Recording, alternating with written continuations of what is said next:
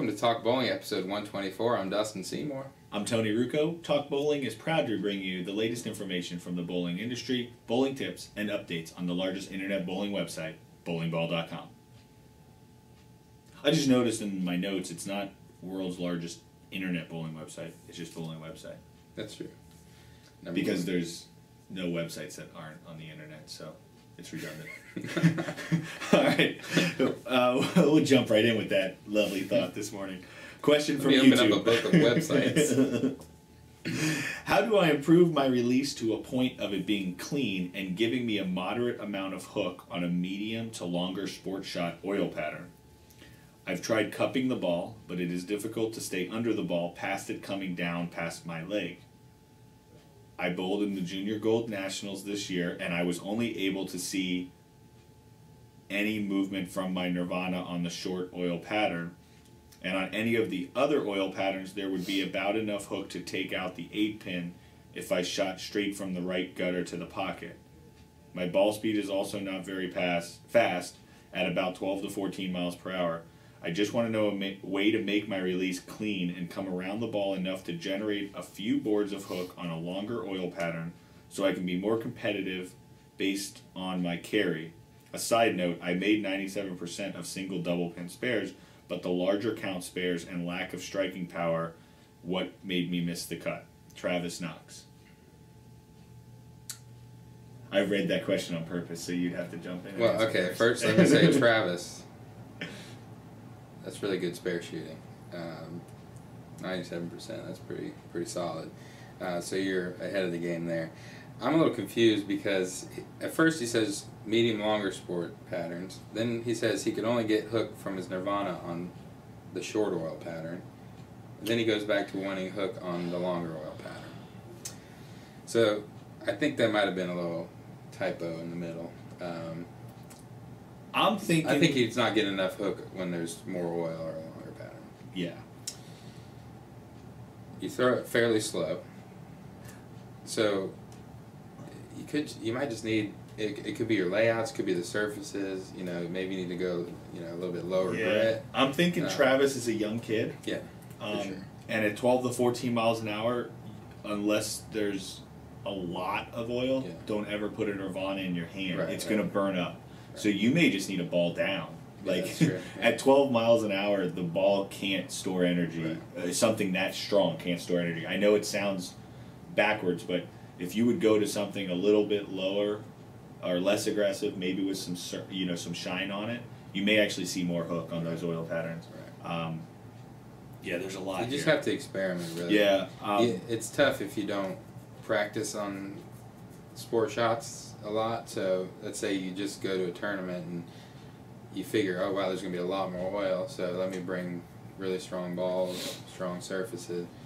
Then you're not seeing hook. Well, you have to experiment.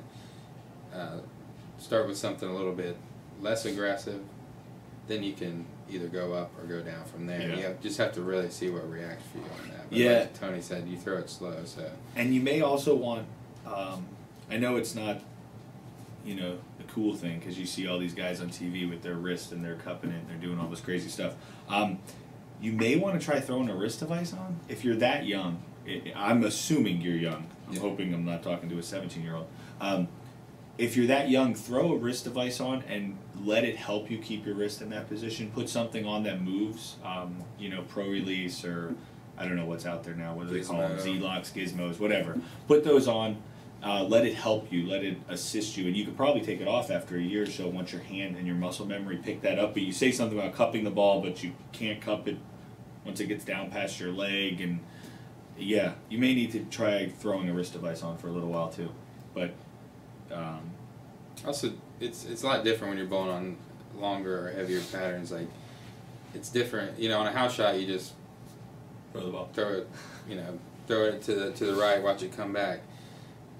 You have to get the ball started in Yeah. a roll earlier. So maybe move your target up a little bit on the lane. That normally will help you get the ball started. Yeah, sooner. and keep in mind- behind the ball. like Dustin said, you're not going to see a big change of direction on a lot of these sport patterns. You will, I mean, on the shorter ones, obviously, but a lot of times these sport patterns are built so you don't see those huge change of directions, and you and it, it puts a premium on shot making of getting you know hitting your target, getting the ball to the break point at the right spot on the lane. So Throwing it straighter it's fine. You don't have to, you know, if you have to play up the right side or, or point it at the head pin, that's totally fine. There's been tons of people that have made their careers off of throwing it straight. Dead so straight.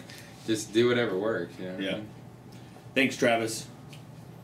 All right, question from Facebook. How do you know when it's time to change balls? Do you guys have we should have like some hour and a half, two hours? music. Um, my rule is if I don't strike. No, I'm just kidding. Um, and he strikes all the time. yeah, So. when when the ball when the shape I'm getting isn't right, like when I when I feel like I've lost the breakpoint shape I want and I can't make a change or the ball doesn't fit the breakpoint shape I need anymore, then I make a change. If I'm bowling league, yeah, it's league. You don't have to make that many moves anymore. But uh, you know, if I go flat ten, I'll make a, a little adjustment with my hand first. If I go flat ten again, I'll maybe make a move with my feet. Flat ten again, I change bowling balls and I'll do that across the lane. So if I go, you know, seven pin, I'll make a little hand adjustment first. Do it again, I'll make a move. Do it again, change balls. Yeah, there's a couple ways to look at it. I mean, you really have to. One key to, to knowing if you have the right ball in your hand is watching how the ball goes through the pins. So, um, if the ball's coming in at too sharp of an angle or not enough angle, you either have to change what you do with your hand, where you're standing on the lane, or you have to switch balls. Um, if I like the shape of the motion that I'm getting, there comes a point where you can only move so far, and then that angle is totally different it, for yeah. that ball. So you have to go to something different. Yeah. Um, but I mean, carry is if you're not carry if you just suddenly start not carrying, something's changing, and you need Yeah. to make a change. Um, And when I'm bowling league, I mean, it's probably the lazy way to do it, but I usually don't want to think that much. So a lot of times in practice, I may not love my ball motion, but I'm thinking that I'm not going to have to change balls until the end of the second game or third game. Like, I know the way the lanes are going to go. I'm going to be fine in a few frames. I'm going to let this break down naturally and, and I'll be fine. So sometimes I make a lazy choice to not change balls because I know it's going to be fine, you know. And on, you know, you're going to strike. I mean, you know, it's not like you're going to shoot 110. Um, so I'll make a lazy decision to line up for the second game in the practice and be ready to go.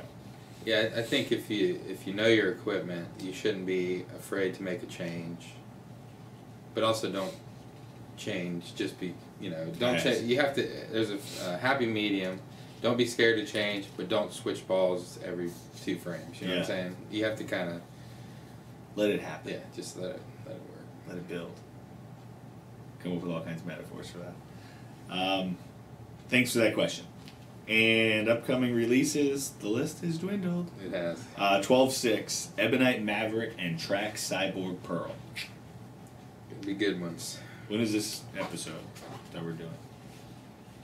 Uh, late November. Okay. Ball videos should be up for those balls. All right. Uh, we give a bowling ball away each week on bowlingball.com. All you have to do is click on the 52 weeks, 52 winners image on the right side of the page to register. And uh, you do have to sign up each week because it does erase and roll over. So Reset. make sure you do that. Reset. There's the word. All right, bowlingboards.com also gives away a bowling ball each week. Uh, head over to bowlingboards.com, register, and make at least one post per week to be entered. You can also go to facebook.com forward slash bowlingboards, uh, make a post or a comment on there to be entered as well. And again, that resets also. Pyramid Bowling also gives has a giveaway each week, and that's on their Facebook page, and it's facebook.com slash pyramid bowling. And it's not always a ball, but sometimes it's a bag, and it's always something good. So head on over each week. All right. And if you'd like to contact Dustin or myself, feel free to email And I can us. type it, and not have to speak it because I can't speak right now. Feel free to email us questions at talkbowling.com, on Facebook, facebook.com forward slash talkbowling, on Twitter at talkbowling, or you can leave a comment on talkbowling.com. That's right. Do people tweet us? Sometimes Dustin's in charge of all that, so I don't know. we need more tweets Tweet us. at talkbowling. I just winked at the camera. Well, Gave it a I was creepy, gonna say something, Gave it a but creepy I'm tweet. glad I didn't. Tweet us.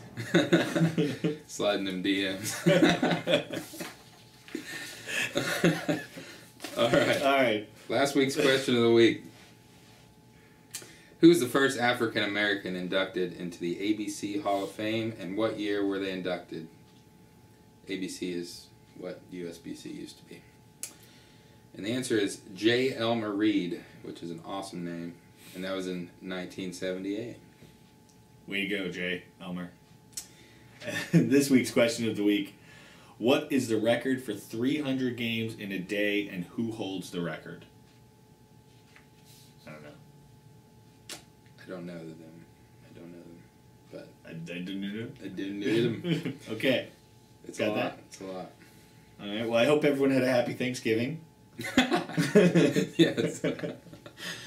And a uh, very expensive Black Friday. No, I'm just kidding. It's not there yet, I don't think. Oh, yeah, it would have been. Yeah.